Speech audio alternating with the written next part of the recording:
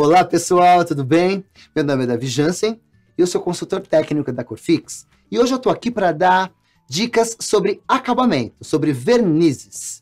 E como vocês sabem, a Corfix tem vários tipos de verniz e nós vamos falar um pouquinho sobre eles agora. Aqui eu trouxe dois tipos de acabamento para que vocês conheçam e, claro, cada um tem uma certa preferência. O verniz com a maior concentração de brilho que nós temos seria a laca chinesa da Corfix, certo? E depois aqui também eu usei o verniz geral.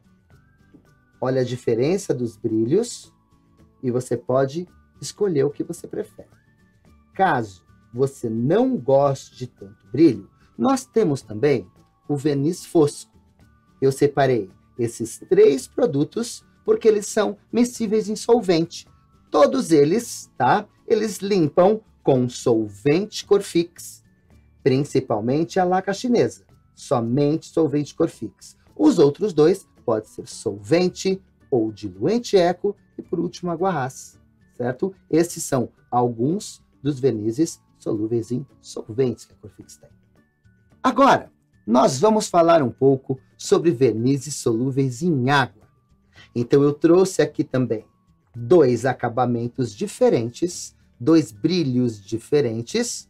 O primeiro foi feito com verniz acrílico, como o nome já diz, acrílico, solúvel em água. Este que é um verniz, que é a laca acrílica brilhante, que ela tem também uma alta concentração de brilho solúveis em água. E caso você não goste de muito brilho, nós temos a laca acrílica fosca, é um excelente acabamento.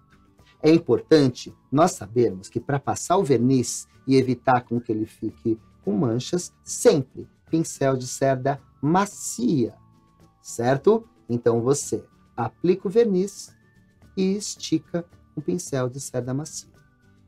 Ok? Agora nós vamos falar de praticidade.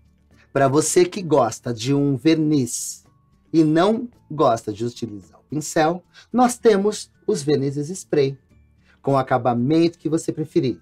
O verniz fosco, semibrilho ou brilhante. Então você escolhe o acabamento que você quiser, tenha 30 centímetros de distância, pelo menos, aplica o verniz e é uma excelente acabamento, uma excelente solução para impermeabilizar sua peça. Mas também, se você trabalhou, por exemplo, com pastas Gold Fix e tem medo que ela oxide, certo? Ou trabalha com a linha artística, que é para papéis, e também para um acabamento perfeito no nosso PVA cintilante, você pode usar o verniz fixativo. Ele é excelente e ele não tira praticamente nada da característica da tinta que você passou embaixo. Então, verniz fixativo por fix.